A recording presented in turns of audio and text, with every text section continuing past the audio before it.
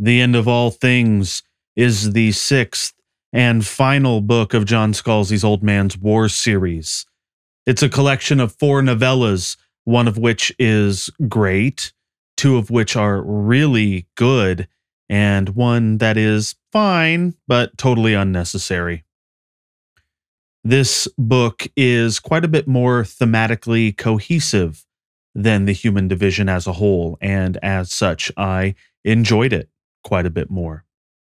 In many ways, it also feels like the culmination of all the events of the human division. So it's sort of a retroactive payoff for all the plot threads the human division left dangling. So without further ado, let's get into what worked for me and what didn't.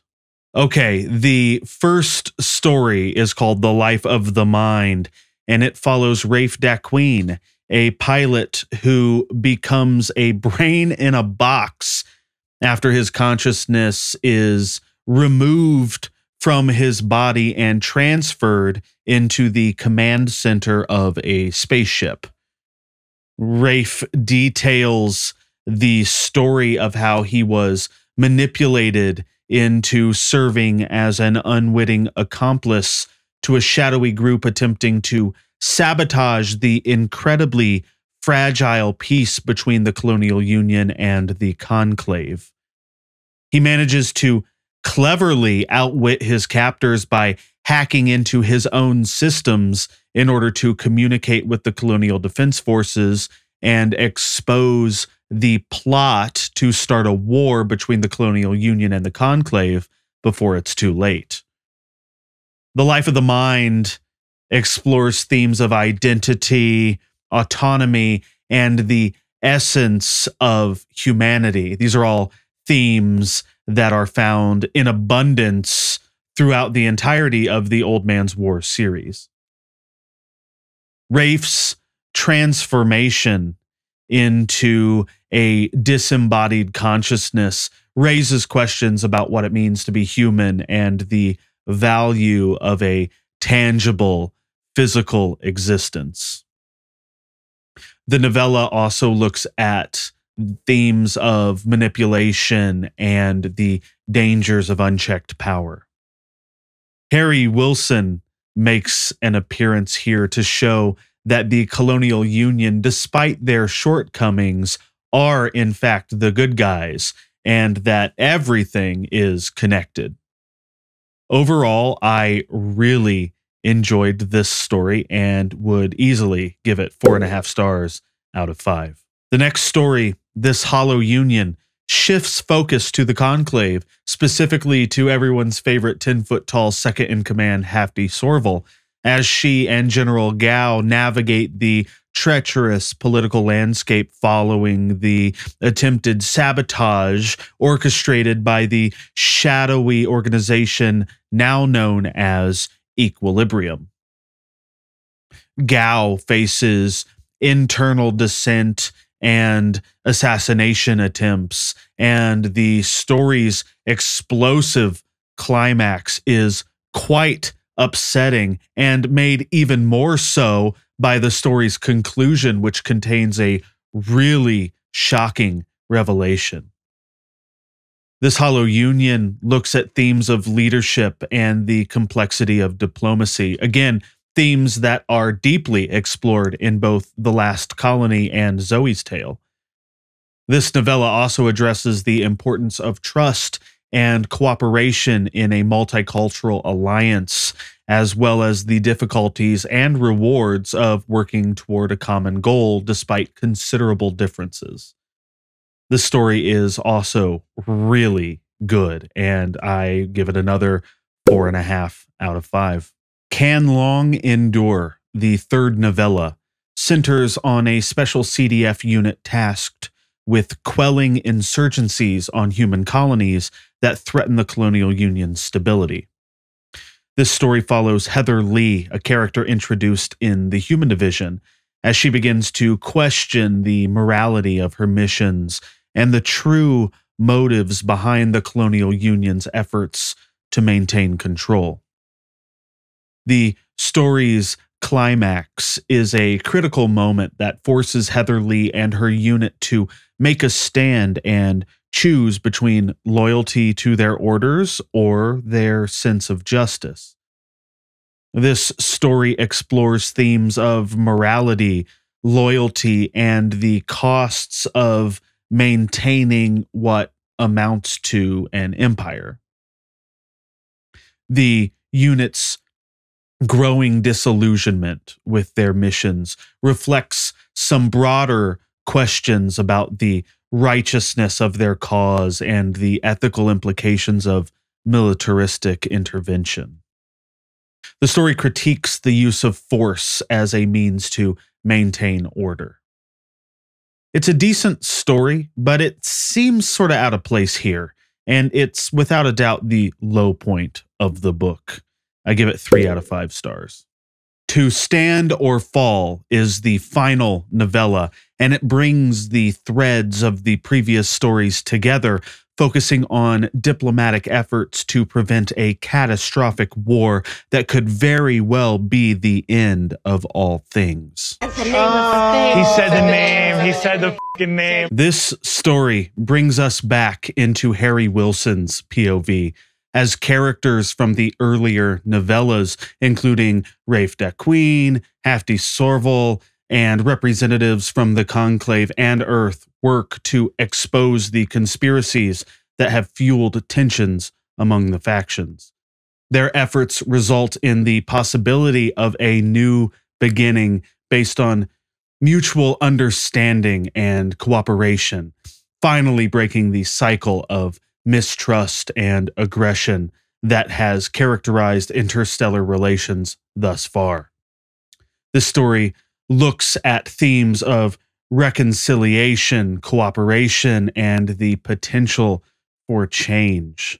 The collaborative efforts to avert war and uncover the truth represent a hopeful vision for the future. And this emphasizes the importance of dialogue and empathy in overcoming division.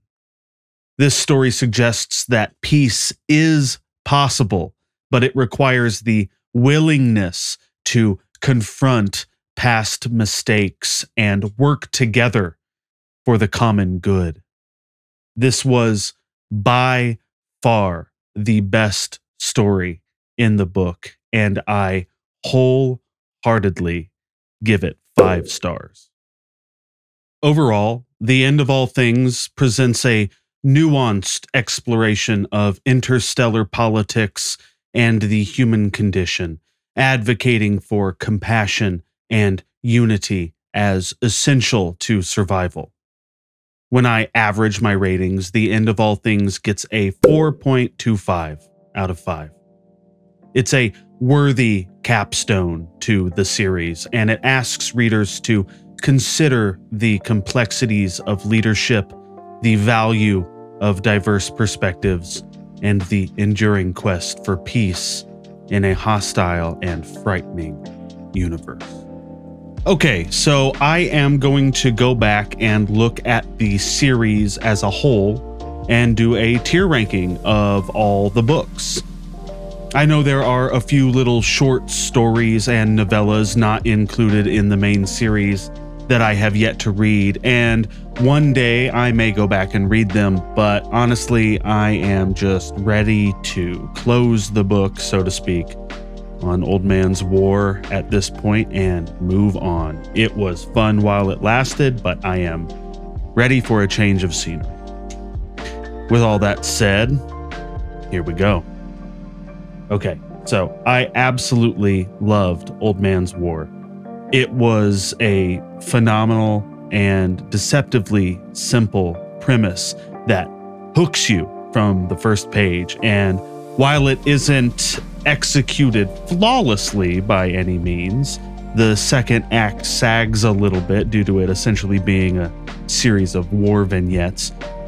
The book has an abundance of heart and manages to reach some seriously emotional heights. And it is for these reasons that I place the first book in the series solidly in the S tier. I feel good about that. The second book, The Ghost Brigades, was a bit of an unexpected change of pace, but a welcome one.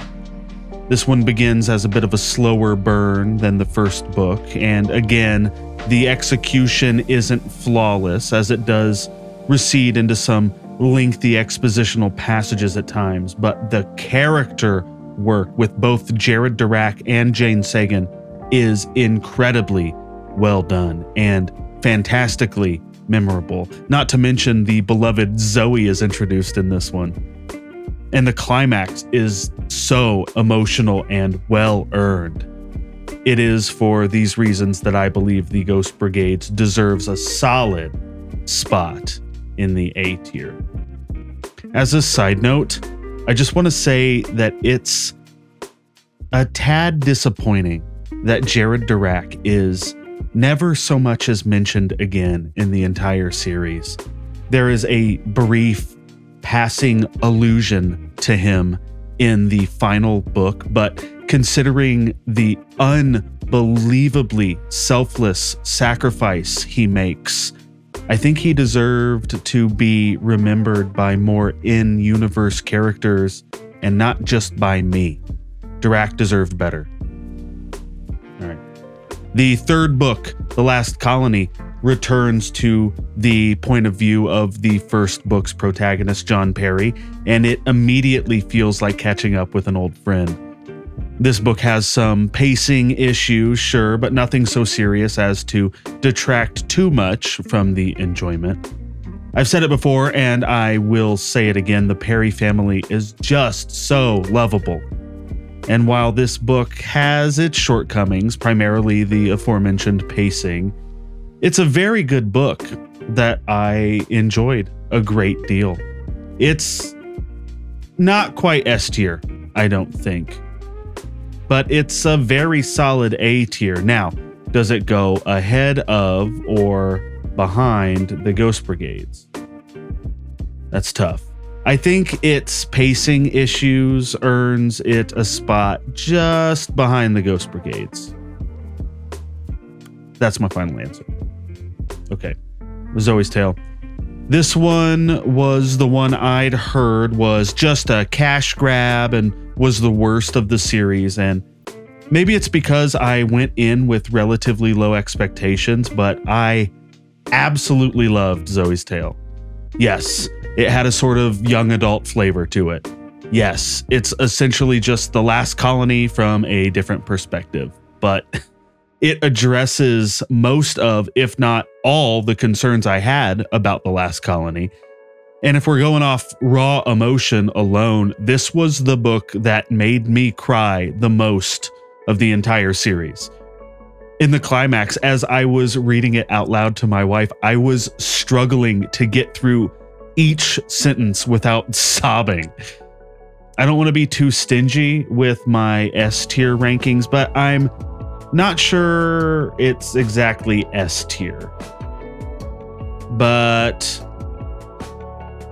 it's a solid A tier for sure. And I, yeah, I think it inches out Ghost Brigades is number two in the series. This is where it's going. Come at me in the comments. Okay, the human division. It was certainly the most uneven book in the series, which makes sense given it's just 13 short stories mashed together in a fix up. It's not great, but it's definitely not bad. It's by far the least memorable of the series, no offense to Harry Wilson, who is a great character. I don't want to go in and look at my star ratings and rank every single one and then average them out again to get its final tier ranking. So I think a fair place to put it is in the B tier.